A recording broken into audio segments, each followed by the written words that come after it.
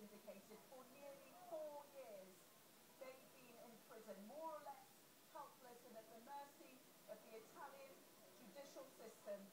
And here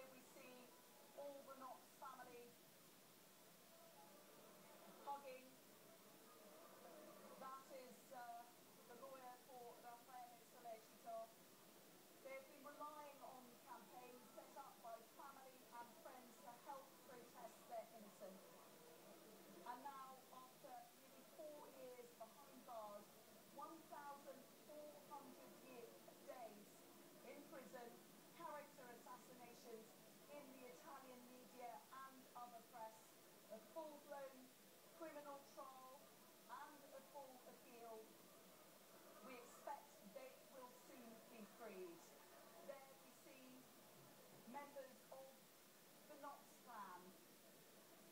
more muted than we were expecting, but then again, the judge had warned against any eruptions and celebrations within the court.